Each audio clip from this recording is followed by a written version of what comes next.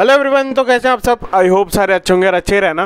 तो यार, आज है ट्वेंटी सिक्स ऑफ़ सेप्टेम्बर तो ट्वेंटी सिक्स ऑफ़ सेप्टेम्बर के जो भी इंपॉर्टेंट करंट अफेयर हैं, उस पर जो आज का डिस्कशन है, उसे फटाफट से स्टार्ट करते हैं। तो सबसे पहला जो करंट अफेयर है, वो आपका माली कंट्री से रिलेटेड है।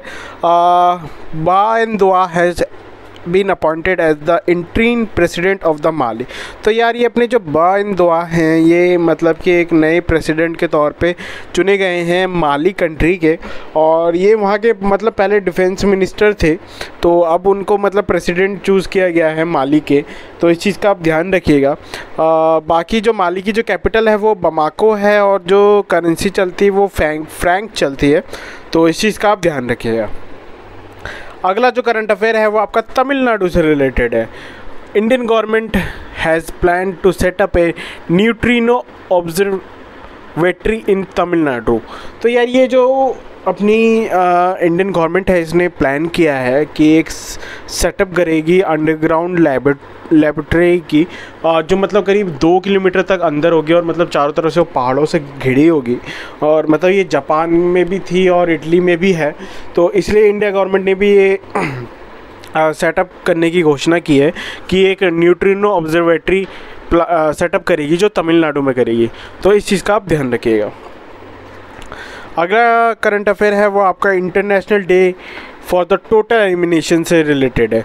तो international day for the total elimination of nuclear weapon is observe every year on twenty six of September तो यार ट्वेंटी सिक्स सेप्टेम्बर को ये जो है अपना elimination of nuclear weapons day celebrate किया जाता है।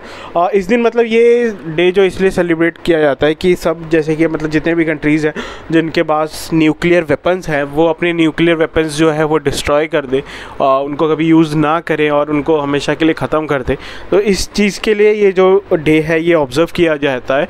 और ये हर साल छब्बीस 26 सितंबर को यू आ, ये जो इंटरनेशनल डे है ये मतलब कि हम मनाया ऑब्ज़र्व किया जाता है। तो इस चीज़ का आप ध्यान रखिएगा। अगला जो करंट अफेयर है वो आपका यूनाइटेड नेशन से रिलेटेड है।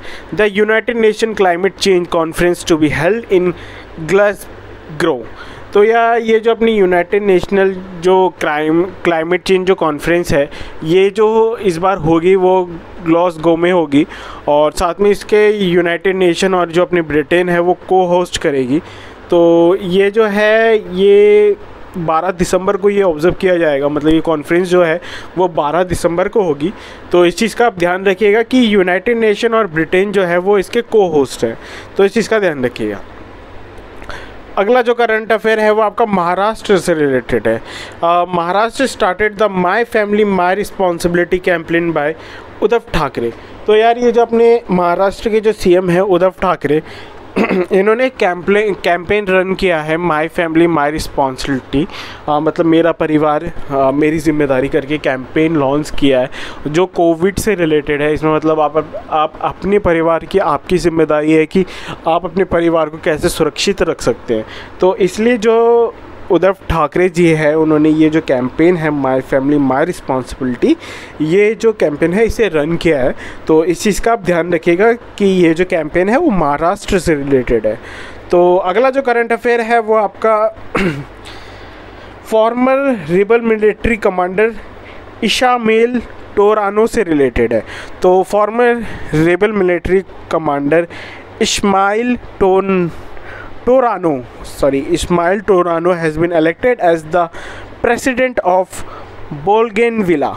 तो यार ये जो अपने ये रेबल मिलिट्री कमांडर है इस्माइल टोरानो जो इलेक्ट किए हैं as a president of Bougainville के और तो ये वहाँ के भी मतलब कि डिफेंस में थे वो और रिबल मिलिट्री में थे तो इस चीज़ का ध्यान रखिएगा और बाकी ये जो प्रेसिडेंट चूज़ किए हैं वो बोलगैन विला के चूज़ किए गए हैं तो इस चीज़ का आप ध्यान रखिएगा।